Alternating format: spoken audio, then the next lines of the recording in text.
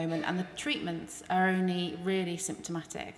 So the, the overarching theme of my work is really working towards finding um, a drug that will alter the disease course or slow the disease progression. The predominant amount of Parkinson's patients, uh, we don't know why they get the disease.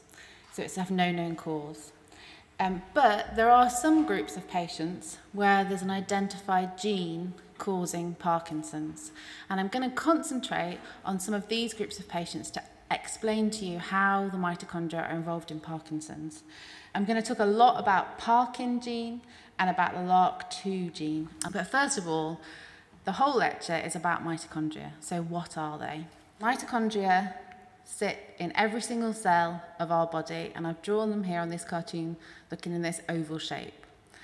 Uh, and what they are is they're the batteries of the cell. They generate most of the cell's energy. They do lots of other things, but their main function is to generate the cell's energy. And not only do they generate the energy, but they actually move around the cell. So to different parts of the cell that might be needing more energy at that time. So they will move to the part of the cell that needs the most energy. They can change their shape to make energy more efficiently. So if all of a sudden the cell needs to make more energy, because there's been an extra demand put on it, they can change their shape so they're more efficient at making energy. And just like us, they can use different types of food to make the energy. So you can give them different sugars to make the energy. So the first um, hint that mitochondria might be involved in Parkinson's actually came in the um, 1980s from California. And it's when a group of heroin users uh, presented with a Parkinsonian-like syndrome. And it was found that there was actually a contaminant in their heroin which stopped the mitochondria from working properly. And this was um, causing the Parkinsonian-like symptoms in them. So after that, there was an explosion in research, people looking at mitochondria in Parkinson's. And they started off by looking in people with Parkinson's, and they looked in the brain, so in post-mortem brain samples, and in the skin cells. I'm going to talk quite a lot about research on skin cells tonight. Also in the muscle and in the blood. And in all of these tissues, um, they found that the mitochondria were not working properly. So not just in where you might expect, the brain cells, which are obviously affected in Parkinson's, but also in lots of other peripheral tissues of the body, the mitochondria were not working properly. And since then, people have also looked in a whole different group of animal models so they've manipulated the genes that we know are involved in Parkinson's and all those animal models, whether they be the fly, the mouse or the rat, or the zebrafish, most of them have shown problems with the mitochondria. So really there's a huge evidence built up that the mitochondria are not working properly in Parkinson's. And I'm just going to go through some of that in more detail now. So I said I'd talk a bit about Parkin. So Parkin mutations in this gene are the most common cause of early onset Parkinson's. And the gene um, causes this by losing its normal function, so it doesn't work properly. And actually, it's now been linked to playing a role in getting rid of mitochondria from the cell that are not working properly. So now we can see that if Parkin doesn't work properly, then it can't rid the cell of the mitochondria that are not working properly.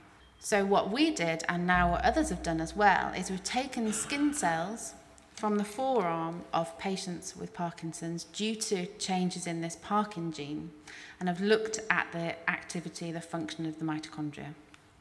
And so this graph on the left shows a reading of just overall function of the mitochondria.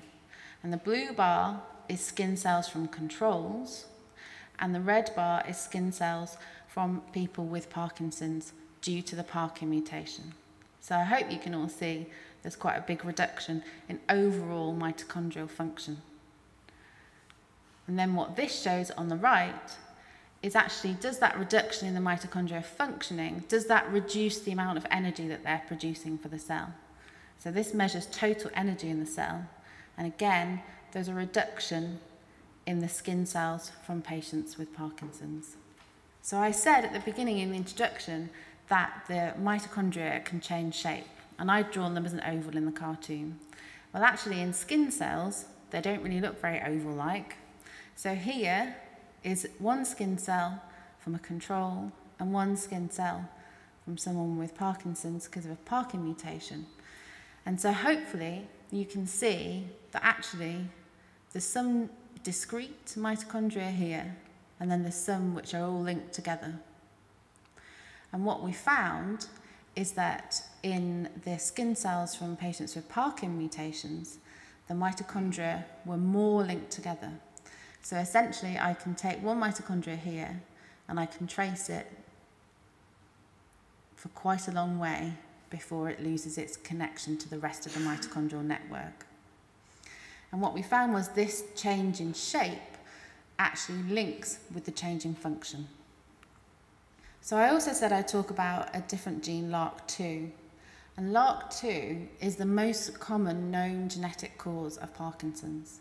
And it causes not early onset disease, but late onset disease that is more similar to the sporadic disease that most patients get.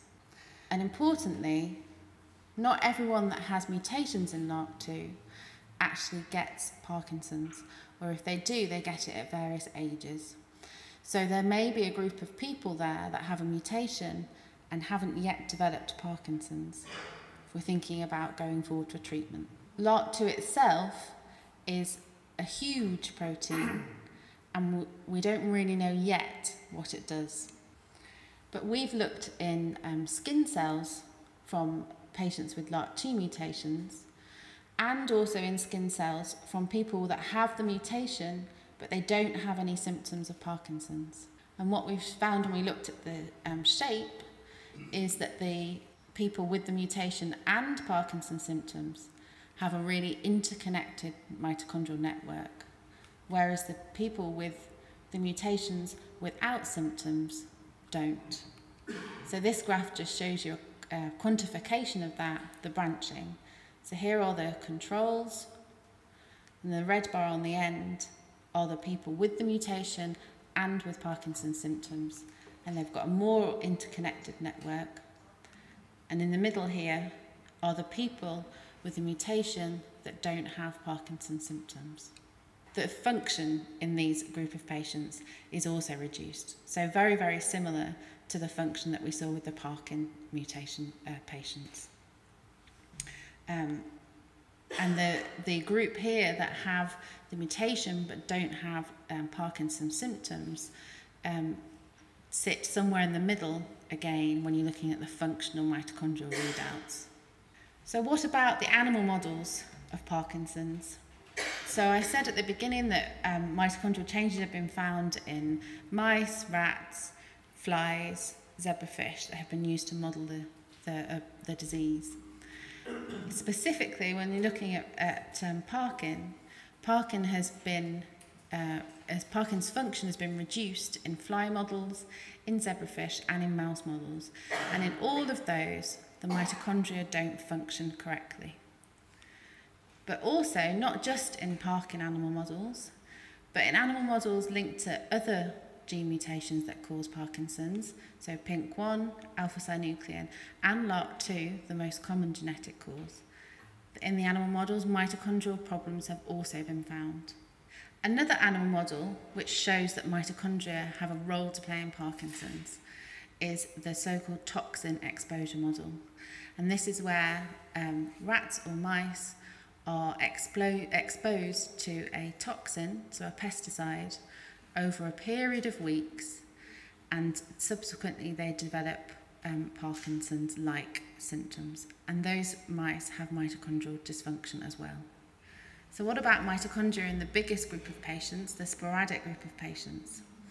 So, I said people have looked in post mortem brain tissue and they've shown a reduction in mitochondrial function. People have looked in blood cells and shown a reduction in mitochondrial function. And people have looked in skin cells and shown a reduction in mitochondrial function. But when thinking about this, the largest group of patients, it's really important to note that patients with sporadic Parkinson's get Parkinson's for different reasons, most of which we have no idea at the moment. So the data is much more variable when we take that large group of patients than if we look at one genetic cause. then the data, we get a bigger difference and it's much less variable than if we look in the bigger sporadic group of patients. My research focuses on understanding how mitochondrial dysfunction affects the survival of brain cells in Parkinson's, and then ultimately how we might then be able to use this information